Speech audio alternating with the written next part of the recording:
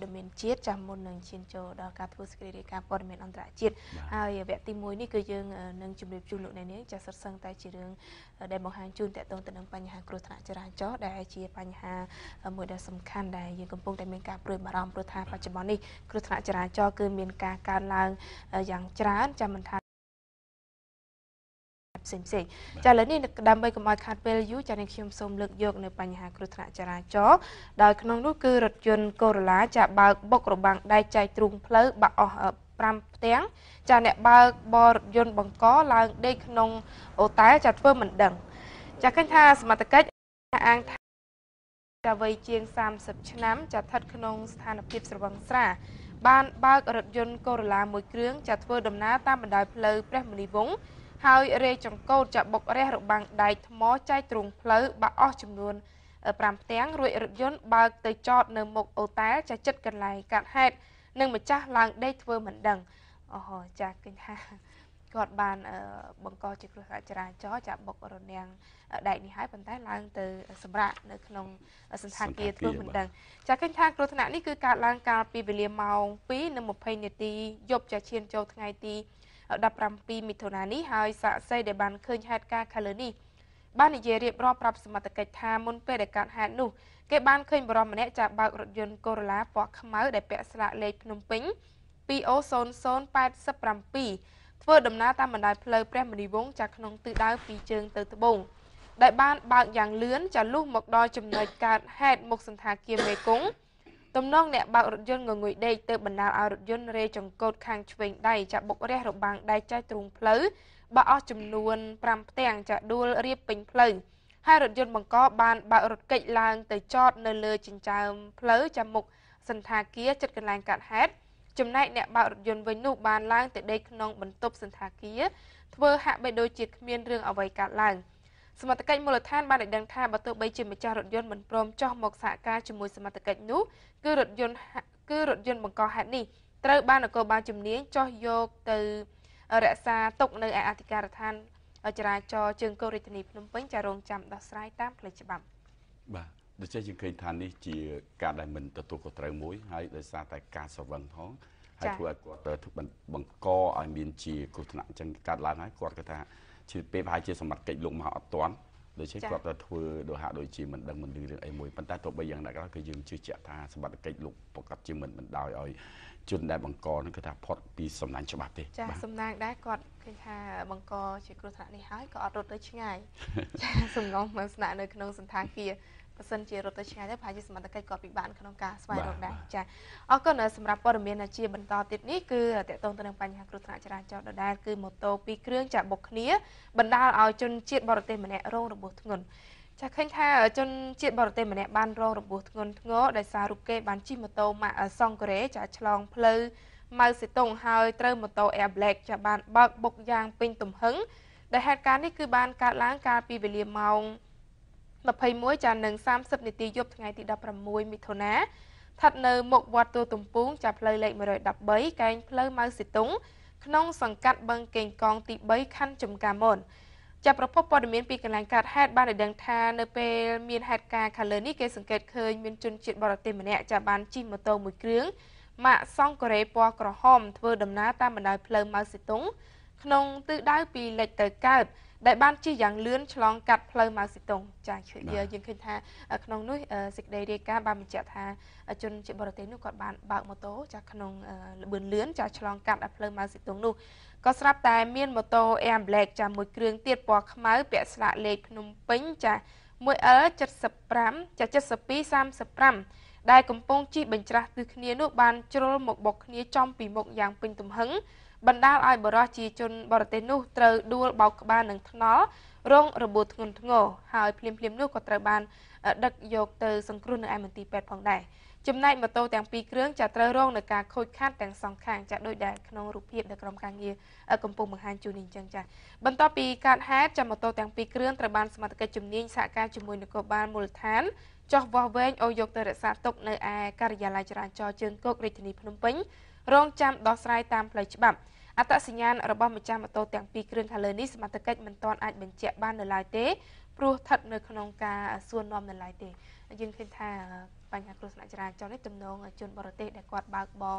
ម៉ូតូសងក្រេនោះទំនងដូចជាមិនមានមួកសុវត្ថិភាពទេលោករដ្ឋាហើយមួយទៀតកញ្ញាយើងមើលឃើញថាបើយើងគិតពីវិស័យអត្តភាពនៅក្នុងគេថាសុវត្ថិភាពចរាចរណ៍ច្បាប់ចរាចរណ៍វិញគាត់ឆ្លងផ្លូវធំ នេះគាត់ផ្លូវតូចនេះក៏ផ្លូវតម្លៃកាយអញ្ចឹងគាត់គួរតែមើលឆ្វេងស្ដាំព្រោះផ្លូវធំគេមានអត្ថិភាពតែមុនបើសិនជាគ្មានភ្លើងស្តុបទេបាទដូច្នេះយើងគិតថារឿងនេះអាញាធរជំនាញលោកនឹងធ្វើការវាស់វែងទៅតាមគឺថាអ្វីដែលជាក់ស្ដែងនឹងកាត់មកបាទចាព័ត៌មានមួយទៀតចាស្រដៀងគ្នាដែរគឺមនុស្ស2នាក់ចារងរបួសធ្ងន់ខណៈម៉ូតូ3គ្រឿងចាបុកគ្នានៅឯខាងផ្លូវចំការដងឃើញថាមនុស្សចំនួន3នាក់ចាបានរងរបួសធ្ងន់ស្រាលខណៈពួកគេបានជិះម៉ូតូ3គ្រឿងចាបុកគ្នាយ៉ាងពេញទំហឹង ដែលហេតុការណ៍នេះគឺបានកើតឡើងកាលពីវេលាម៉ោង21:30នាទីយប់ចាថ្ងៃទី16មិថុនាយប់មិញនេះចាគឺស្ថិតនៅក្នុងស្ថិតនៅខាងមុខវត្តសិនសំកសលចាផ្លូវលេខ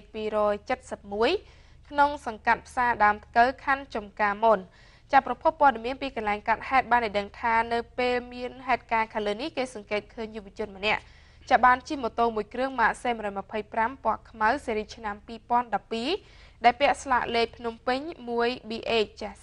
8560ធ្វើដំណើរតាមបណ្ដោយផ្លូវ271ក្នុងទិសដៅពីជើងទៅត្បូងដែលបានជិះយ៉ាងលឿនលុះមកដល់ចំណុចមុខវត្តសន្សំកសលចាស់ក៏ស្រាប់តែមានម៉ូតូ2គ្រឿងដោយមួយគ្រឿងម៉ាក C125 ពណ៌ខ្មៅពាក់ស្លាកលេខភ្នំពេញ 1D 10 1D ចា51 84និងមួយគ្រឿងទៀតម៉ាកអាគប់ជ្រុងពណ៌ទឹកប៊ិចពាក់ស្លាកលេខ B ចា98ចា95ផព1ដែលកំពុងជិះធ្វើដំណើរឡើងចំណោតពីវត្តសន្សំកសលចាឆ្ពោះមកផ្លូវលេខ271ក៏បណ្ដាលឲ្យជ្រុលលបឿនចាបុកគ្នាចំពីមុខយ៉ាងពេញទំហឹងបណ្ដាលឲ្យមនុស្សចំនួន3នាក់ត្រូវដួលបោកក្បាលនឹងថ្នល់ចារងរបួសធ្ងន់ស្រាលភ្លាមភ្លាមនោះក៏ត្រូវបានដឹកយកទៅសង្គ្រោះនៅអមទីពេទ្យផងដែរចាចំណែកម៉ូតូទាំង3គ្រឿងចាត្រូវរងនឹងការខូចខាតដោយគ្នា បន្ទាប់ពីការហេតុម៉ូតូទាំង3គ្រឿងនេះត្រូវបានសមត្ថកិច្ចជំនាញសហការជាមួយនគរបាលចរាចរណ៍មូលដ្ឋានចោះវាស់វែងអូសយកទៅរក្សាទុកនៅឯអធិការដ្ឋាននគរបាលខណ្ឌចំការមន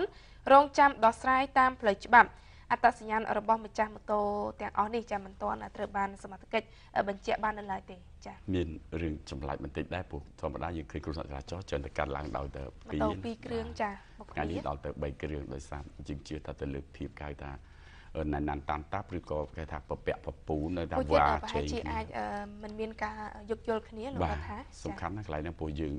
ជឿថាវិស័យអត្តភាពនេះក៏ដោយវិស័យការដែលបើកបរយើងមិនគោរពច្បាប់ហើយមិនមានការយោគយល់ហ្នឹងដែលយើងឃើញថាបង្កជាលក្ខណៈ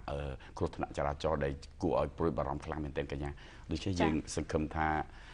អញ្ញាធរដែលពាក់ព័ន្ធជាពិសេសបងប្អូនប្រជាពលរដ្ឋលោកនឹងស្វែងយល់ជាបន្តទៅទៀតអំពីថាកត្តាអ្វីខ្លះដែលបណ្ដាលឲ្យគ្រោះថ្នាក់ហ្នឹងហើយយើងនឹងរៀនសូត្រនឹងចែកនៅបទពិសោធន៍ដល់គ្នាទៅវិញទៅមកហើយយើងសង្ឃឹមថានៅក្នុងអនាគតកាលខាងមុខដល់ខ្លីនេះយើងនឹងអាចវិធានការដើម្បីដោះស្រាយនៅវិបត្តិចរាចរណ៍នេះបាទចា៎ចាសេចក្តីរាយការណ៍មួយទៀតគឺម៉ូតូ2គ្រឿងចាជិះបញ្ច្រាស់គឺគ្នាជ្រុលបុកគ្នាចារងរបួសមនុស្សធ្ងន់ចំនួន2នាក់និងស្រាលម្នាក់យើងឃើញថា តកតងទៅនឹងបញ្ហាគ្រោះថ្នាក់ចរាចរណ៍គឺម៉ូតូនិងម៉ូតូចាស់បុកគ្នាទៀតហើយឃើញថាមនុស្សពីរនាក់ចាបានរងរបួសធ្ងន់និងម្នាក់ត្រូវរងរបួសស្រាលដោយសារពួកគេពីចាដោយសារពួកគេចាបានជិះម៉ូតូពីរគ្រឿងចាបុកគ្នាយ៉ាងពេញទំហឹងដោយហេតុការណ៍នេះគឺបានកើតឡើងកាលពីវេលារំលងអាត្រៀតចាឈានចូលថ្ងៃទី17ខែមិថុនាឆ្នាំ2013នេះចាស្ថិតនៅមុខវត្តសម្បួរចាផ្លូវ217ក្នុងភូមិសម្បួរ សង្កាត់ដង្កោខណ្ឌចំការមុនចាសាក់សីនៅកន្លែងកើតហេតុបាននិយាយរៀបរាប់ប្រាប់ឲ្យដឹងថានៅពេលមានហេតុការណ៍ខាងលើនេះគេសង្កេតឃើញយុវជនម្នាក់ចាបានជិះម៉ូតូមួយគ្រឿងម៉ាកសង់ក្រេពណ៌ក្រហមចាធ្វើដំណើរតាមបណ្ដោយផ្លូវលេខ215ចា217ហៅផ្លូវចំការដង ដោយរូបគេបានជិះម៉ូតូចាក្នុងទិសដៅពីត្បូងទៅជើងយ៉ាងលឿនបញ្ច្រាស់ទិសគ្នាជាមួយនឹងម៉ូតូ C125 ពណ៌ខ្មៅដែលពាក់ស្លាកលេខតាកែវជាមួយ D5065 ដែលកំពុងជិះបញ្ច្រាស់ទៅគ្នានោះបានជ្រុលបុកគ្នាចំពីមុខយ៉ាងពេញទំហឹងបណ្ដាលឲ្យម្ចាស់ម៉ូតូទាំងពីរគ្រឿងចាត្រូវដួលបោកក្បាលនឹងថ្នល់រងរបួសធ្ងន់ធ្ងរដឹកបញ្ជូនទៅសង្គ្រោះនៅឯមន្ទីរពេទ្យភ្លាមភ្លាម ចាចំណែកម៉ូតូទាំងពីរគ្រឿងនោះគឺរងនឹងការខូចខាតដូចគ្នាដែរចាដោយដែររូបភាពដែលក្រុមការងារបានបង្ហាញជូននេះចាបន្ទាប់ពីកើតហេតុម៉ូតូទាំងពីរគ្រឿងត្រូវបានសមត្ថកិច្ចជំនាញសហការជាមួយនគរបាលចរាចរណ៍មូលដ្ឋាន យកទៅរក្សាទុកនៅឯអធិការដ្ឋាននគរបាលខណ្ឌដង្កោចារងចាំដោះស្រាយទៅតាមផ្លូវច្បាប់ចាមួយនេះនាងខ្ញុំជម្រាបថាស្ថិតនៅឯមុខវត្តសម្បួរចាផ្លូវ217ក្នុងភូមិសម្បួរសង្កាត់ដង្កោខណ្ឌចំការមនប៉ុន្តែសូមកែតម្រូវទៅជាខណ្ឌដង្កោខណ្ឌដង្កោវិញចាចាចាសូមអរគុណកញ្ញាយើងឃើញថាជាទូទៅយើងសម្គាល់ឃើញថានៅពេលយប់គឺថា ប្រជាពលរដ្ឋដែលលោកធ្វើដំណើរដោយម៉ូតូហ្នឹងគឺថាសឹងតែ95%ហើយដែលមិនបានពាក់មួកសុវត្ថិភាពទេបាទដូច្នេះដោយសារតែពេលយប់លោកគិតថាប៉ូលីសចរាចរណ៍លោកហាក់ដូចជាគឺថាលោកត្រូវទៅសម្រាប់ដែរព្រោះលោកពេលលេខតាំងពីមួយថ្ងៃទល់ល្ងាចហើយហើយម្យ៉ាងទៀត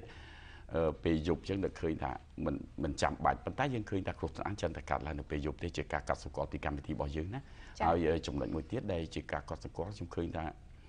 មានមតិខ្លះលោកលើកឡើងថា យើងប្រយ័ត្នតែម្នាក់ឯងតែគេអត់ប្រយ័ត្នទីបំផុតគ្រោះថ្នាក់កើតមានជាមួយគ្នាដដែលប៉ុន្តែជាចម្លើយក៏យើងបានឆ្លើយប្រាប់ថាកាលណាយើងប្រយ័ត្នមានន័យថាការបថុយប្រឋានរបស់យើងនឹងវាតិចប៉ុន្តែអ្នកដែលមិនប្រយ័ត្ននោះគឺ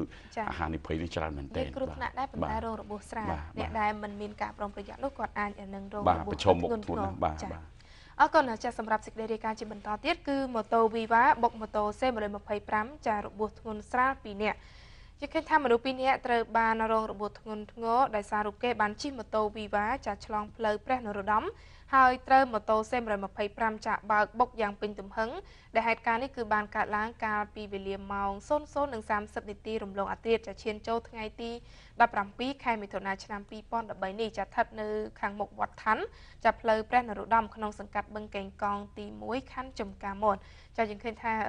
សេចក្តីរាយការណ៍នេះក៏ដូចសេចក្តីរាយការណ៍មុនដែរចាគឺថាករណីឆ្លងផ្លូវហើយម៉ូតូមួយគ្រឿងទៀតជិះបុកតែម្ដងចា ប្រភពព័ត៌មានពីកន្លែងកើតហេតុគឺបានឲ្យដឹងថានៅពេលដែលមានហេតុការណ៍ខាងលើនេះកើតឡើងគេសង្កេតឃើញយុវជនម្នាក់បានជិះម៉ូតូមួយគ្រឿងម៉ាក Viva ពណ៌ខ្មៅដែលពាក់ស្លាកលេខស្វាយរៀងចាំ 1B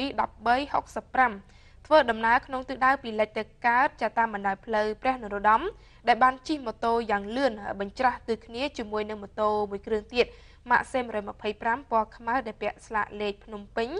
1AQ 7530ដែលកំពុងជិះបញ្ច្រាស់ទិសគ្នានោះហើយក៏បានជ្រុលបោកគ្នាចំពីមុខឲ្យយ៉ាងពេញទំហឹងបណ្ដាឲ្យម្ចាស់ម៉ូតូទាំងពីរគ្រឿងនេះចាដួលបោកក្បាលនិងថ្នល់រងរបួសធ្ងន់ធ្ងរ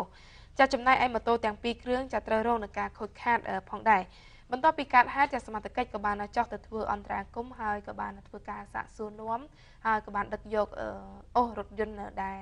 ទាំងពីរគ្រឿងនេះចាយកទៅរក្សាទុកនៅឯអធិការដ្ឋាននគរបាលខណ្ឌចំការមនរងចាំដោះស្រាយទៅតាមផ្លូវច្បាប់ផងដែរចាយើងឃើញថាករណីនេះគឺមានអ្នករងរបួសចាធ្ងន់ស្រាលហើយយើងឃើញថានេះបើតាមរូបភាពដែលក្រុមការងារប្រហែលជាបរំអ្នកដែលកំពុងតែឈរចិត្តម៉ូតូនោះប្រហែលជាអាចនឹងម្ចាស់ម៉ូតូនេះផងដែរចាហើយឃើញថាគាត់ក៏ពុំបានពាក់មួកសុវត្ថិភាពដែរបើយើងមើលទៅតាមផ្លូវរូបភាពដែលក្រុមការងារបង្ហាញជូននេះគឺថាមានលក្ខណៈស្ងាត់ហើយលោករដ្ឋាព្រោះថាម៉ោង